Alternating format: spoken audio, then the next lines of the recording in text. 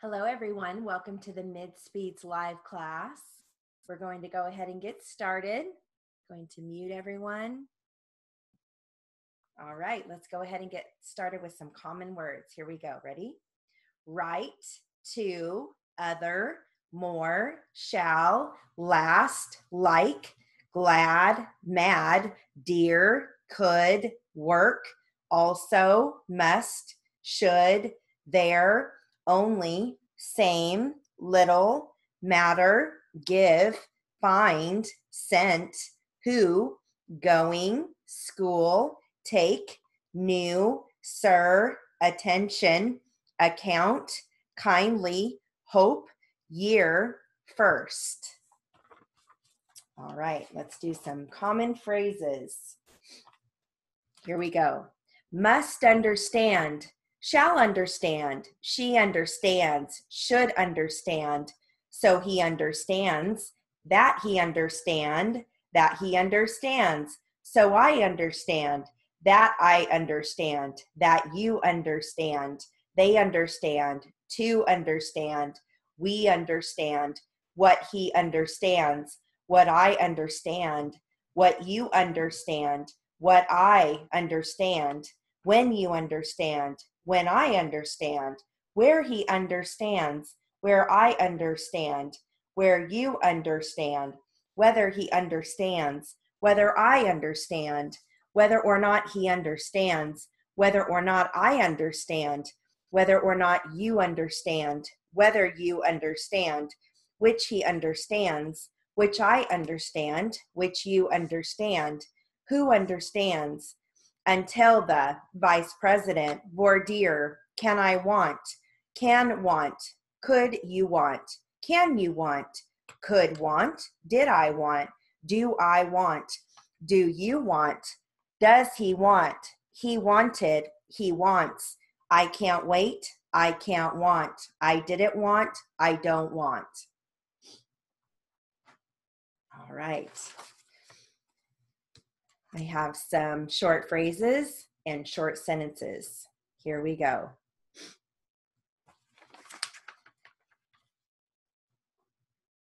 All right, ready?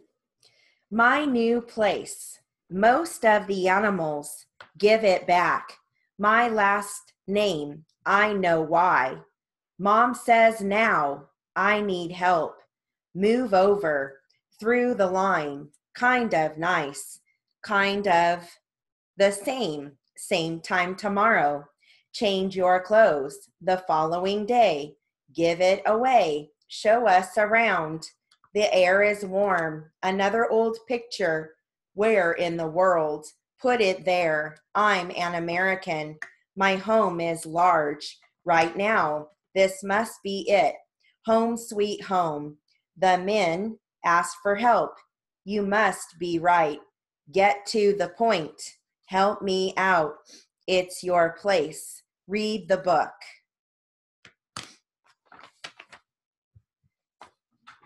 All right, let's move into consonant compounds. Here we go. The prince presumed the problems had all been presented. Priorities are our primary protests. While printing or praying, we must promote the prophesier. Proceed to the private premises. The press room was buzzing with presidential primary results. Owning property is the downfall of the proletarian. Practice your pronunciation with the proper diction. Predestination is the presumption that our lives are predetermined the preconception that all progress is present day is pragmatic. Prankish tricks often precede the practical person. Prohibit your procession if pregnancy prohibits it. Procure the promotion if the printer is presentable. He has a propensity to project the pro rata data the priceless prescription is presumed to be lost. The pro- provocative protege let her presence permeate the precious press room. show the proprietor the proper protocol. Prose is writing with preferable precision. Practice what you preach and don't always preach what you practice. Now, these are going to focus on initial PL. She used plastic plates and platters. The platform was not plated. A plateau was planned. Blood platelets are a plus. We looked at a plate full of plastic. A platinum blonde is pleasing. Platitudes are not pleasant. Ours was a platonic affair. Their platoon played with a platypus. The plaudits were not plausible. They pleaded to play in the plaza. He based his plea on the pleat. A play by the plenary council was planned. Players don't wear plaid pleats. Your pledge will plenish us. Pleurisy affects the pleura. It was not only plenty, it was a plethora. A plotter's plight is plumpness. The plumber plunged the plunger. You may act as my playing planner. All right, last one. This focuses on initial consonants, PL as well. Placards were plastered in each plot. She placated him with a pleasant placebo. You can place the plain plan here. Don't get out of place on the plane. We had plenty take the placement test. The placer was placid placing the plants. Why does a player plagiarize the plans? Plagues are not plotted or planned.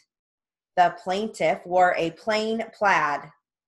Our plantation pleased the planners. Pluto is a planet. Use a plane to smooth the plank. Planishing hammers level metal plates. The plastic plant used a plumber. A plantar wart requires plastic surgery. Don't put planter's punch in a planter. Place the plaque in the plaster.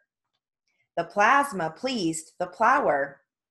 Some call a plot a plat. The platters were plotters. All right. Moving on to Tingle Tamers.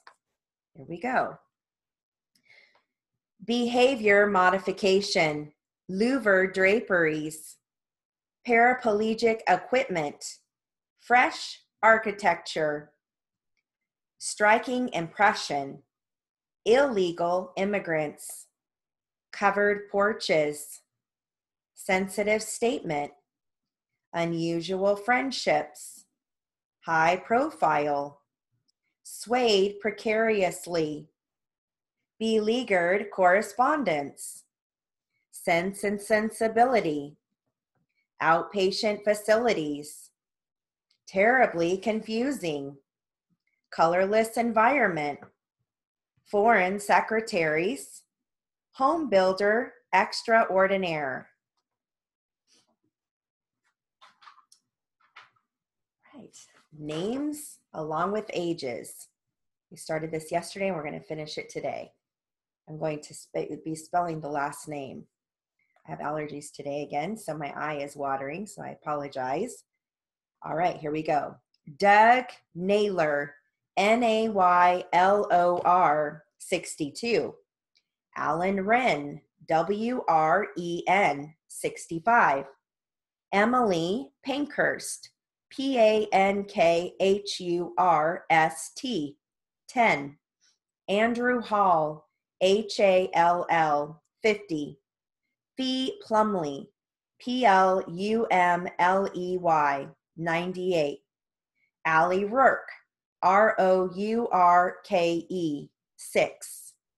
Gary Mounfield, M O U N F I E L D 56.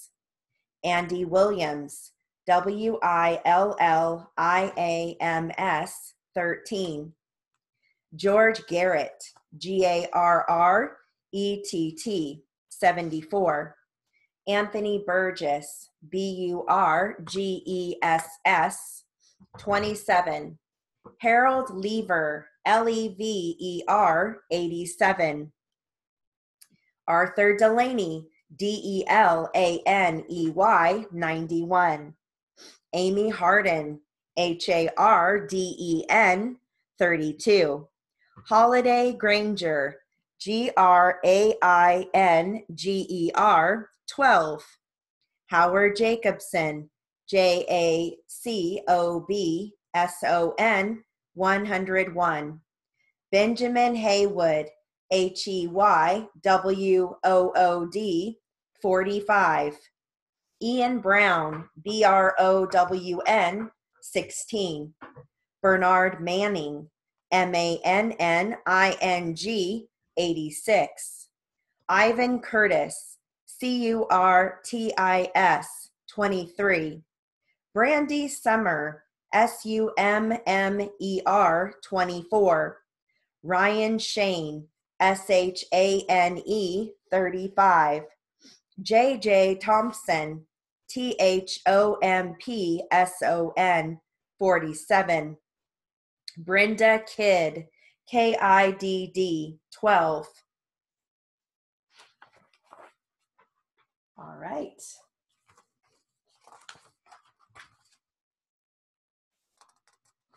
Now, here are some words that start with X. Here we go ex convict, ex wife, ex nurse, ex officer, ex preacher, ex employee, ex mayor, ex teacher, ex president, ex employer, ex marine, ex student, ex husband, ex governor, ex president, ex salesman, ex soldier. All right, now these words all start with N, E-N. Here we go. Entrap, entrenched, enable, enlist, enact, enliven, enacted, encase, enrapture, encircle, enrich, encircled, enriching, enslave, enclose, encode, ensnare, entangle, entrust, endanger, enthrone, entitle, endear, entomb, enfold, entrance, enforce, entrap, engage, engaged, enjoin, enjoy, enlarge, entrenched, entrust, entrusted, envision.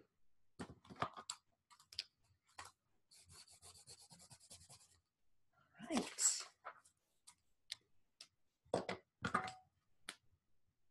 That would be a good drill to go back after the class and add any words that didn't show up in your dictionary. Just add those to your dictionary. All right.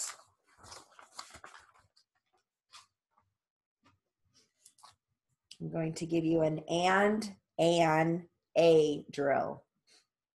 I'm first going to give you some phrases and then move on to the sentences. Here we go. A pig a box, a cap, an error, an issue, an otter, ham and eggs, red and white, rain and snow, a case, a test, a cart, an extra, an infant, an ending, black and blue, peaches and cream, height and weight, a pal, a tab, a pot, an alibi, an altar, and onset, cats and dogs, old and gray, run and jump, a desk, a turn, a plan, an alley, an eagle, an emblem, Jack and Jill, twist and turn, thick and thin, a man, a fin, a gal, an ulcer, an idiot, an ideal, tall and dark,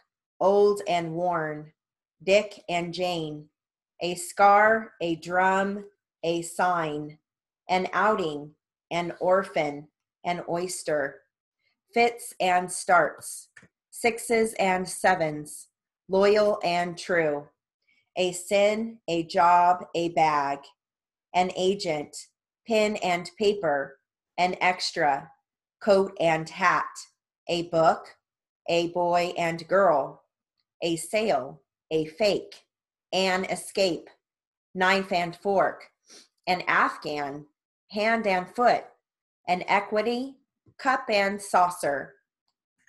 Use a knife and a fork. An inch turns into a mile. I've a dog and a cat. Wear a coat and a tie. Eat an apple and an orange. Sit and read a book. Wear a coat and a tie. Eat an apple and an orange. Take a coat and hat. It's a day and a half. A bus and an auto crashed. Use a day and a half. Go get a paper. Use a paper and pencil. Use an apple and an apricot. An apple, or excuse me, an annual picnic is a lark. Tom and I ate the apple. Use an hour and a half. Wear an overcoat and boots.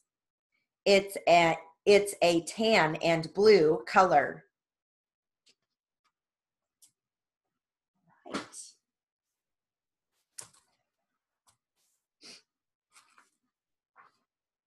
Got some common questions.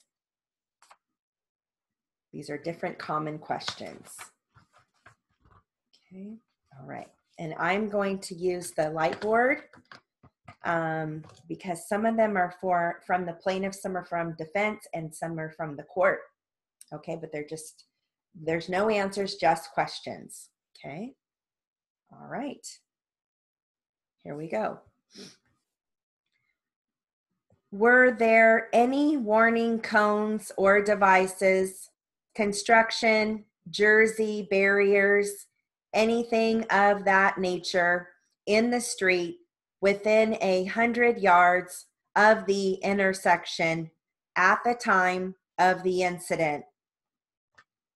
At the time of the accident, were there any lights at that intersection as far as overhanging street lights to eliminate the intersection at the time of the accident? Are there any directional signals or lights at that intersection? Before the accident occurred, do you recall seeing any vehicles cross in front of your path? What was the speed limit at or near the intersection at the time of the accident.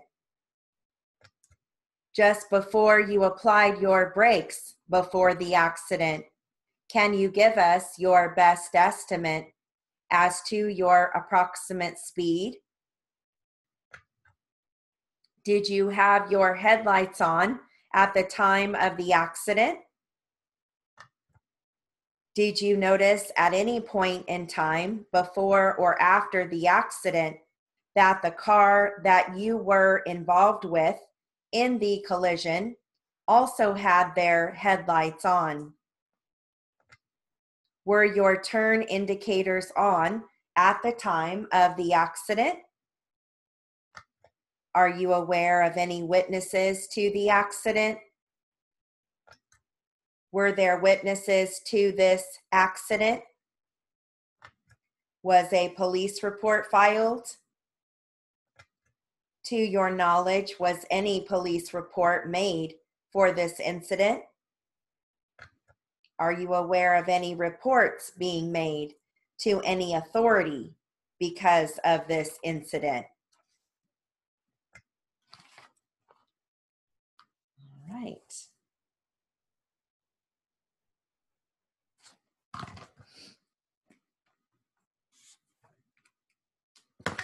And then, um, if you don't already know this, the brief for incident is S D E N T. Okay, let's do some literary.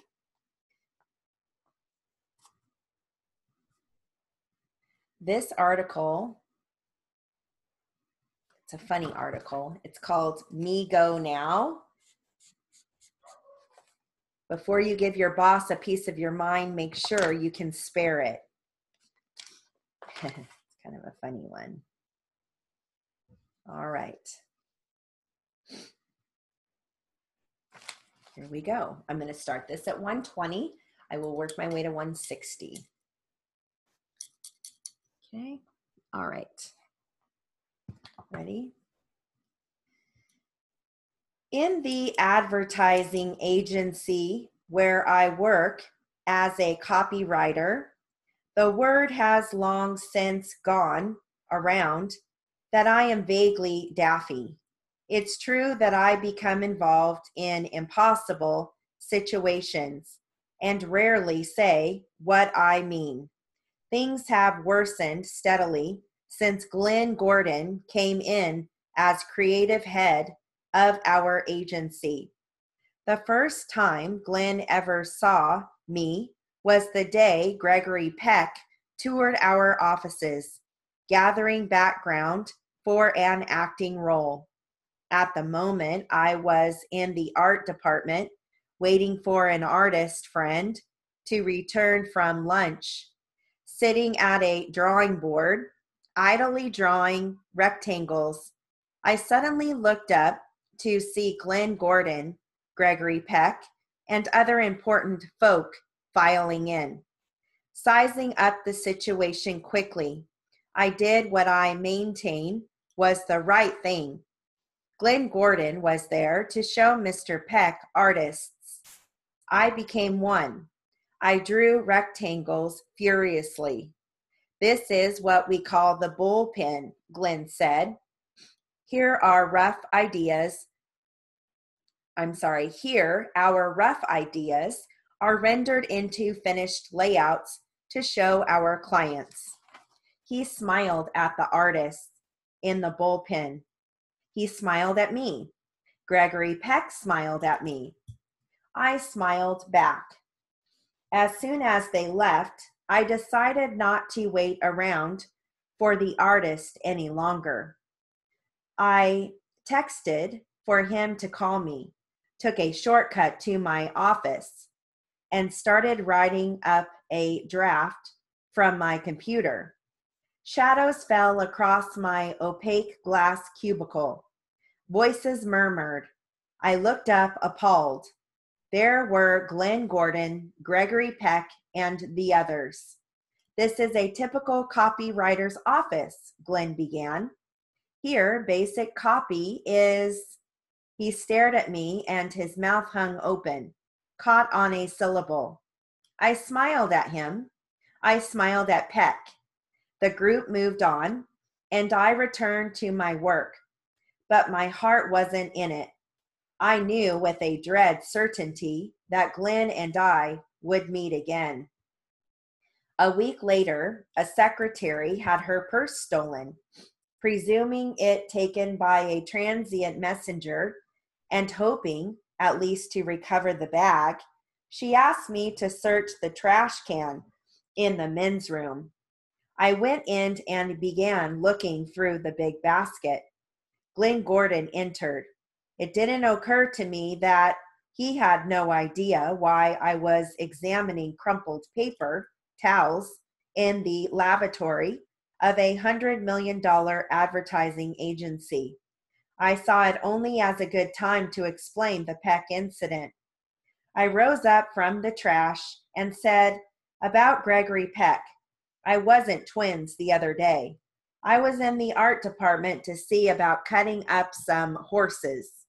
It didn't come out right, as usual, but I had been there that day to get some photos of horses trimmed and mounted. Glenn backed away slowly, nodding at me. After that, things went smoothly until the day we came face to face in the production department. Glenn motioned me to a chair. Obviously, he needed to know more about me, and wonderfully enough, I was equal to the occasion. We chatted easily about a variety of things. As we talked, Glenn became visibly relieved. I decided to quit while I was ahead. I stood up quickly and leaned toward Glenn to say goodbye. A simple so long or nice talking with you would have sufficed. But as I searched for the appropriate farewell, my mind gave way completely. No words came. Glenn, having no inkling that I meant to leave, and unable to understand why I was suddenly towering over him silently, froze like a frightened rabbit. My mouth began to move wordlessly. Finally, I managed to speak. Me go now, I said hoarsely, and walked away.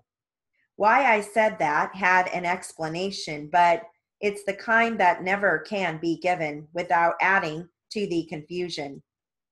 I had been reading about Robert Benchley, once attending a bad play involving a character who spoke broken English. Benchley had said, Me go, and left the theater. The phrase stuck in my subconscious until it tumbled out to help do me in. Soon there was another incident, the time 4:20 p.m. of a hectic day. I had just escaped from a meeting and was heading for the 10th floor and the sanctuary of my own office. The elevator door opened, and there naturally was Glenn Gordon. He smiled resolutely and said, Hi there, how are you?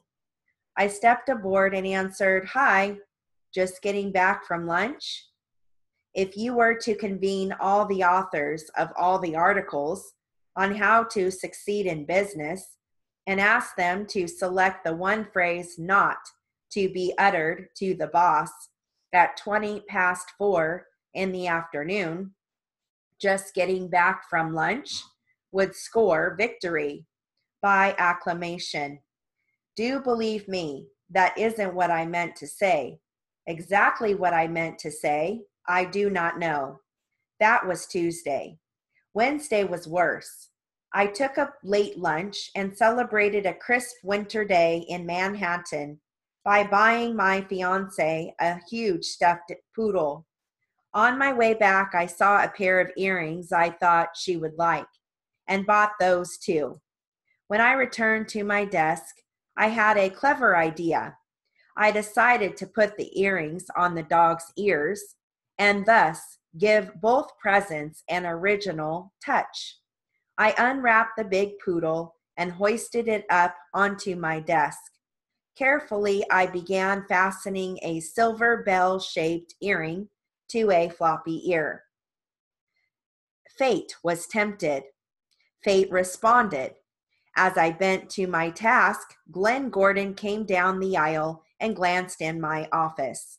Everywhere about me, dedicated copywriters, or excuse me, everywhere about me, dedicated copywriters were hard at work.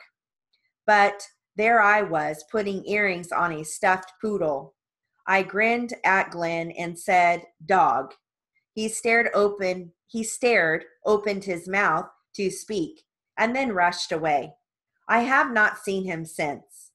I start each day with trepidation, waiting for a pink slip to flutter in. What will I say then?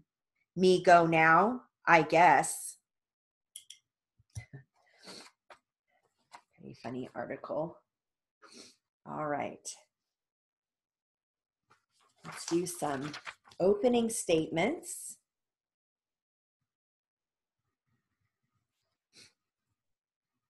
Again, I apologize. I've got allergies. My eye has been watering today. Okay, let's go ahead and do some opening statements. Here we go. You need to know how each little piece of evidence in this two week trial is going to fit into the big picture is going to fit into whether or not Ian Thomas is guilty of the three offenses for which he has been charged.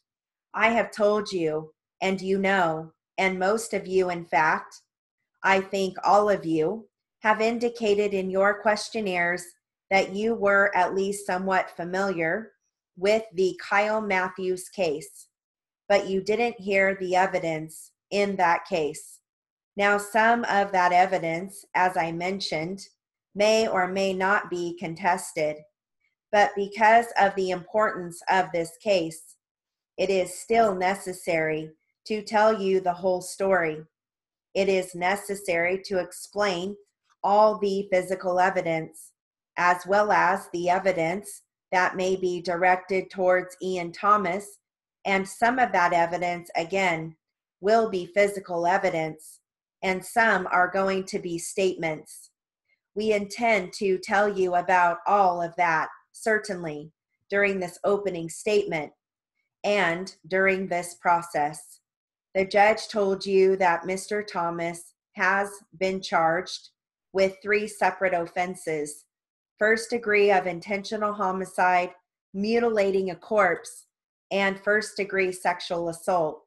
He told you the elements, that is, what it is the state has to prove. And we certainly intend to do that in this case. All right. The first legal concept that I want to talk to you about is the party to the crime. The judge has instructed you that a party to the crime is a concept or a form of criminal liability that is committed either when somebody commits a crime themselves or when they aid and abet the commission of the crime. Now, this is the law. Judge Mock will tell you what the law is. So, whether you think this is a good idea or a bad idea, it's the law and you have to follow this law. And so the description or the explanation of, as an example, what aiding and abetting means is important for all of you to know. The judge has told you that a defendant can aid and abet the commission of a crime if he assists somebody who commits it, or importantly, what you might hear in this case as the evidence may show in this case quite a bit, is that the individual in this case, Ian Thomas, stood ready and willing to assist, and that the actor in this case, Kyle Matthews, was an individual who knew of Ian's willingness to aid and abet. All right? Now I'm telling you that this early, excuse me, now I'm telling you that this early in the case because this is an important concept. It's important for you to understand what the criminal liability is. And again, whether you agree with or don't agree with that concept, with the concept of a party to the crime, it's something the judge tells you that you have to accept and you have to adopt. I'm going to introduce to you a lovely young woman. This is Haley Mears. Ms. Mears was 25 years old on Halloween of 2005.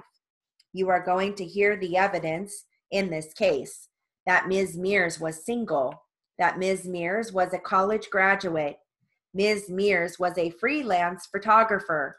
She was a daughter, she was a sister, she was a friend, and she had her whole life ahead of her. You are also going to hear the evidence that all of that came to an end on Halloween of 2005. This story, this case, begins at about 8:12 a.m.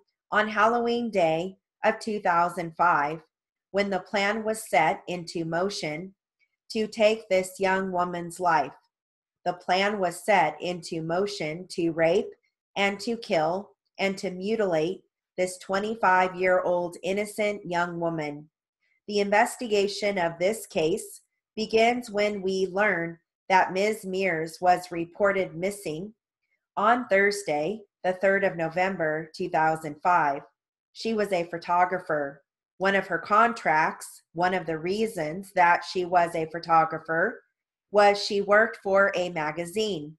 She worked for something called Auto Trader Magazine, which is a magazine that sells cars. It has about, excuse me, it has ads about the cars and it requires photographers to go out and to take pictures of those cars.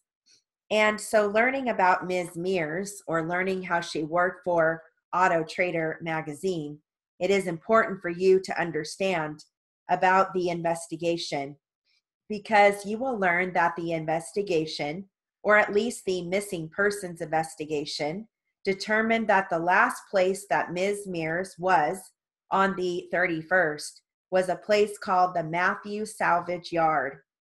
This is a place located here in Smith Rock, in a place called the town of Libing. It is a rural Smith Rock. It's kind of in the northern edge of Smith Rock, but it's a junkyard, a salvage business that has junked cars.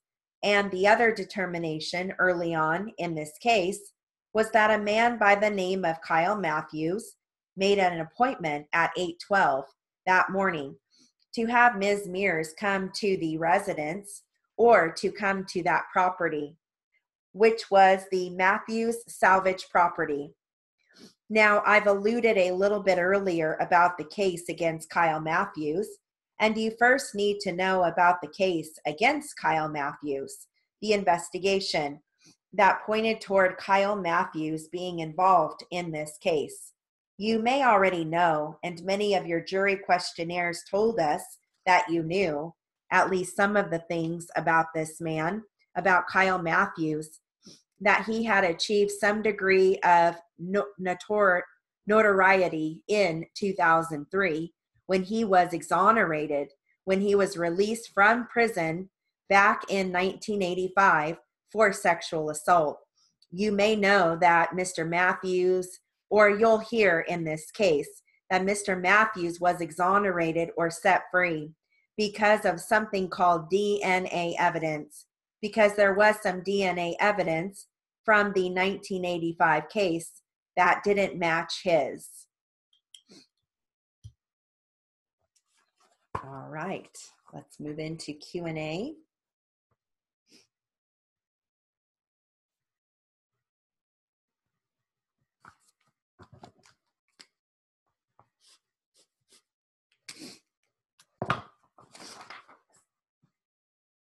right.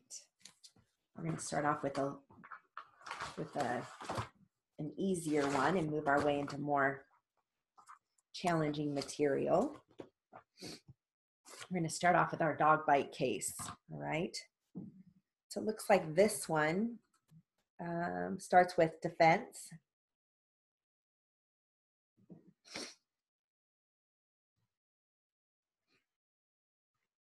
Okay, and again, I apologize for my allergies. Here we go. We're going to start at 120 and we're going to work our way to 160. Ready? Oh, excuse me, defense. Here we go. What type of playing did you do with Honey? Tug of war.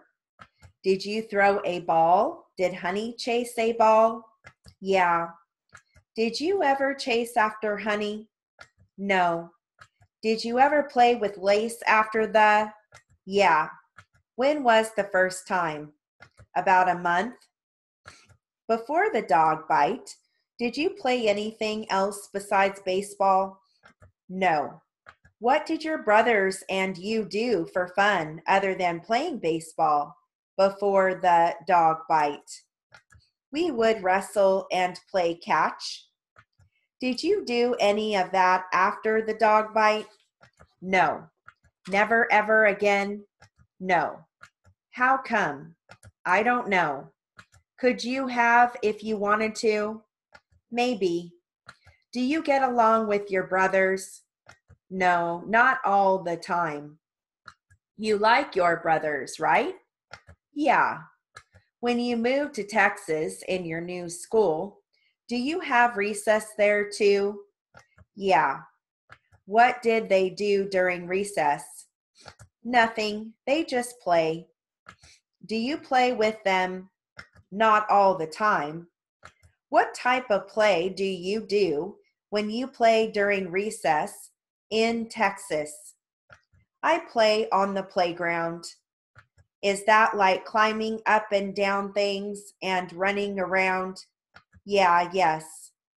Did you think much about the dog bite? Either you got the cast, or excuse me, after you got the cast off of your leg? No. No. Nope. Did your brothers treat you any differently after the dog bite? No. After you got your cast off? No. After they took the stitches out of your leg? Yeah. Did you still feel any pain in your leg? Yes. Yeah, a little. Did it ever completely go away? No. So even today, you still feel some pain. Yeah, in your leg. Since they took the stitches out, is the pain staying the same or is it going up or going down? Going down. Do you always feel the pain in your leg? No. Are there times when you feel it and sometimes when you don't? Yeah, sometimes I do, sometimes I don't. Do you ever notice if anything causes you to feel the pain in your leg? No. When you do feel the pain, how long does it last? For about a day or two. And then how long is it gone there before it actually comes back? I don't know. Say within the last month, how often have you felt the pain in your leg? Like like every 3 days. How long does it last for? For about 2 days. Is it constant for that 2-day period? Yeah, if we say 10 is the most pain that you've ever felt in your leg and zero is no pain at all, how would you rate the pain that you feel now? About eight, about an eight. So it's almost as much as it was at the point when it hurt you the most. Yeah. Do you do anything for it when you feel the pain? No, sometimes my mom gives me Tylenol or something. Does it ever prevent you from doing any kind of activities? Not really, sometimes. So you are able to do everything that you would normally do, only sometimes. So, are there some things that you can't do because of the pain? Yeah. What is that? like run. Okay, during that summer after the dog bite, did you wear shorts? Yeah. Did anybody ever say anything to you about your dog bite? Yes. Any other parents or kids? Yes. Okay. Would they just ask you, yeah, like what happened there? Okay. Other than your family members and any doctors that you've seen, has anybody else ever said anything about your leg? Or, well, I don't know. Just when they see the scars, they say, How did that happen? So people have asked you how it happened. Yeah. What do you tell them? I say, I got bit by a dog. How does that make you feel when they ask you, How did that happen to your leg? I don't know. Does it still bother you at all? No. Do you still have some scars on your legs? Yes. Do those bother you? Only sometimes when people touch them, it does. What happens when people touch them? It's like it stings. I'm sorry, I missed the last word. It stings. Stings. Okay, S T I N G S. Oh, stings. Okay, like bee stings? Yes. Does the scar seems to be does it seem to be going away? No. Is it still the same as if it was right after they took the cast off? Yes. I don't believe I have any further questions at this time. Thank you, David. Do you want to go ahead with the questioning or take a break? I'd rather finish today with David before we take a lunch break if we can. Do they have a jungle gym at your school in Texas? Yes. Do you climb on it? Yeah. Are you going to ask? Go ahead. Okay, I have just a few. Have you ever been bitten by any other dog? No. Has Max ever tried to bite you? No. How about any of your other dogs like Chubby? Only when they're playing, like they bite my arm, only when they're playing. Okay, that was before the dog bite accident we're talking about here today. After. After? Yeah. How many times has Chubby bitten your arm? About once or twice. Has he ever broken the skin? No. How did you feel when Chubby bit your arm? Nothing. Were you scared? No. How about Lace? Has Lace ever bitten you? Yeah, they only bite me when we're playing. And how many times were you playing when Lace bit you? Twice. And that was after the the dog bite incident? Yes. Were you scared when Lace bit you? No. How about with honey? Has honey ever bitten you? Yeah. How many times? Once. Was that after the dog bite? Yes. And do you remember where? Do you remember where on your body? On my arm. Did honey break the skin? No. Did she bite you any time? You stated before that there was a period of time where you were afraid of honey. Is that correct? Yes. Was this the one incident where you were playing with Honey? Was that during that one time you were afraid of her? No. Was that after? Yeah. How about with Max? Did Max ever bite you? No. Did you ever play with Max? Yeah. Okay, how about after the July 1st dog bite? Yeah. Was there a period of time that you didn't play with Max? Uh huh. What period of time was that? when I had my cast on. Okay, was that just, was it difficult to play with Max with your cast? Yeah. And then after that, did you play with Max? Yes. How about with anybody else's dogs after this July 1st? No. You haven't played? I've never played with anybody's dogs. Is there a reason why? Because I'm still afraid of dogs. All right, so we got to 160 with that. I'm going to switch transcripts for just a few more minutes, and then we will um, do some read back.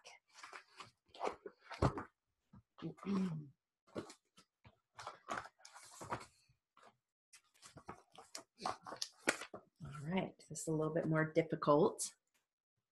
Just a few more minutes. This is going to be defense questioning. Here we go. Would you understand that to mean that two preliminary reports were somehow given to Brandt? Yes. What does it say below that? It says TO for maps. Okay, TO for maps. What does that mean to you? There was no map submitted with the report, and they're asking me to get them for them. What about that? How do you feel about that? Excuse me? Well, what about that entry causes you to feel that they are asking you to do anything? TO represents title officer.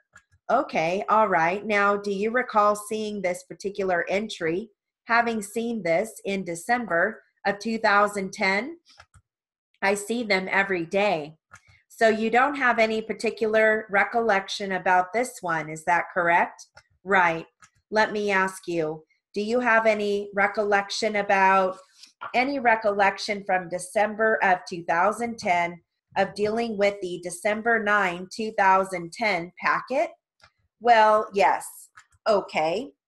Yes. And the question is Do you remember dealing? Do you remember this? Yes, I do. What do you remember doing in connection with this particular title search or title preliminary report? Nothing other than it being presented to me today. So as you sit here today, you don't have any memory of dealing with this packet, the December 9 packet in December of 2010. Other than seeing it, this is the first time I've seen it since that point in time. Yes. Okay, having seen it, does it refresh your memory that you actually saw it in December of 2010? Yes. Do you recall functioning as a title officer in connection with this packet in 2010? Yes. Do you recall what, if anything, you did in that capacity in December of 2010?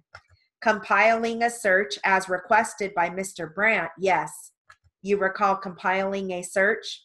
Oh, a searcher compiling it and reviewing it for the submission to Mr. Brandt. That means you recall reviewing it. Is that correct? Yes.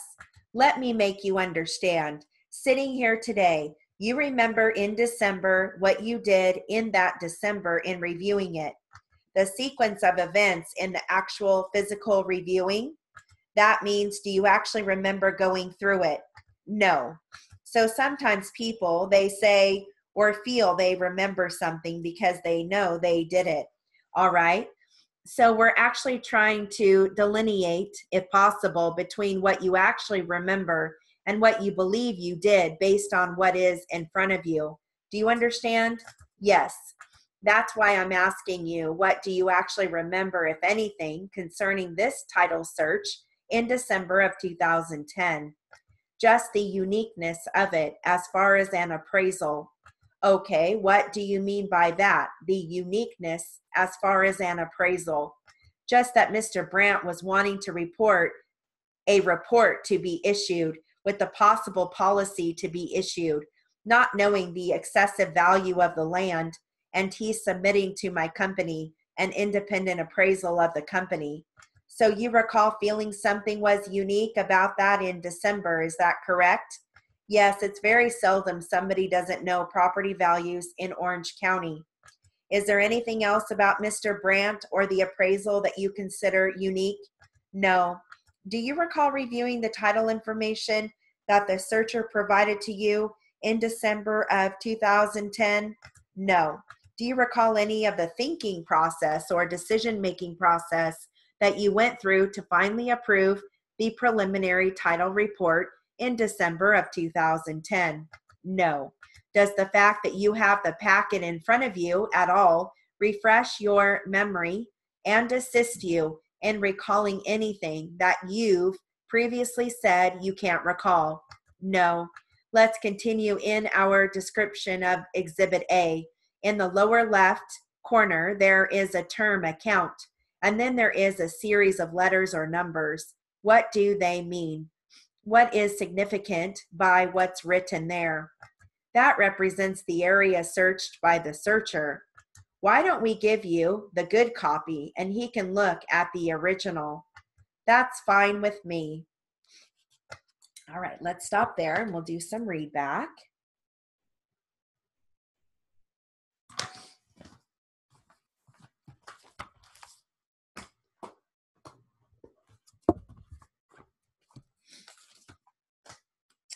All right.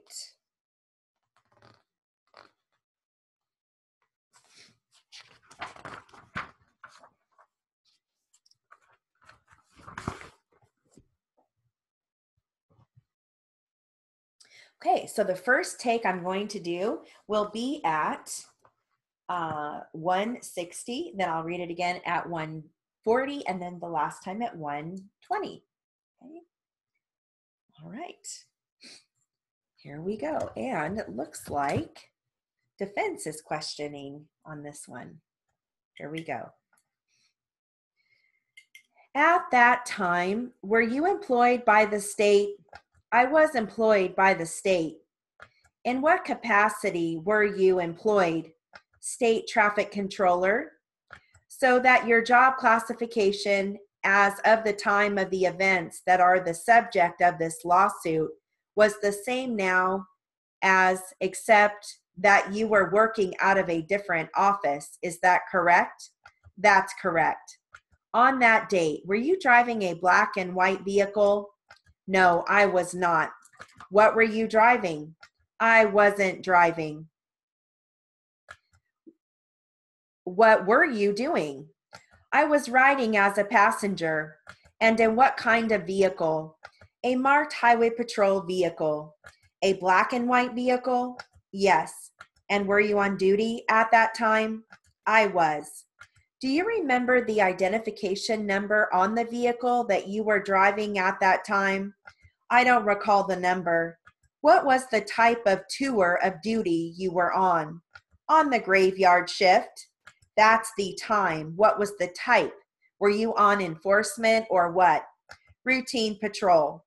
Now, can you describe basically what routine patrol consists of? It consists of monitoring the freeways for vehicle code violations, assisting the motoring public. Motoring traffic for vehicle code violations? Yes. And you said you were assisting traffic. In what manner? Disabled motorists. Anything else that is part of routine patrol that you can think of? No. All right, let's do that again at 140. All right. Here we go. At that time, were you employed by the state? I was employed by the state. In what capacity were you employed? State traffic officer. So that your job classification as of the time of the events that are the subject of this lawsuit was the same as now, except that you were working out of a different office. Is that correct? That's correct. On that date, were you driving a black and white vehicle? No, I was not. What were you driving? I wasn't driving. What were you doing? I was riding as a passenger. And in what kind of vehicle? A marked highway patrol vehicle. A black and white vehicle? Yes. And were you on duty at that time? I was. Do you remember the identification number on the vehicle that you were driving at that time? I don't recall the number. What was the type of tour of duty you were on? On the graveyard shift. That's the time. What was the type? Were you on enforcement or what? Routine patrol. Now, can you describe basically what routine patrol consists of? It consists of monitoring the freeways for vehicle code violations, assisting the motoring public. Monitoring traffic for vehicle code violations? Yes. And you said you were assisting traffic. In what manner? Disabled motorists. Anything else that is part of routine patrol that you can think of? No. All right, let's do it one last time at 120. Here we go. At that time, were you employed by the state? I was employed by the state. In what capacity were you employed? State traffic officer. So that your job classification as of the time of the events that are the subject of this lawsuit was the same as now, except that you were working out of a different office. Is that correct? That's correct. On that date, were you driving a black and white vehicle? No, I was not. What were you driving? I wasn't driving. What were you doing? I was riding as a passenger. And in what kind of vehicle? a marked highway patrol vehicle. A black and white vehicle? Yes. And were you on duty at that time? I was. Do you remember the identification number on the vehicle that you were driving at that time? I don't recall the number. What was the type of tour of duty you were on? On the graveyard shift. That's the time. What was the type? Were you on enforcement or what? Routine patrol. Now, can you describe basically what routine patrol consists of? It consists of monitoring the freeways for vehicle code violations, assisting the motoring public. Monitoring traffic for vehicle code violations? Yes. And you said you were assisting traffic. In what manner? Disabled motorist. Anything else that is part of routine patrol that you can think of? No. All right, so since we don't have any students in the live class, um, there's really no reason for me to go back and read it. All you have to do is go to the take that you want to read back, whether it be 160, 140, or 120, listen to that take and compare it to your notes. All right, so that concludes our Mid Speeds live class. Have a wonderful day.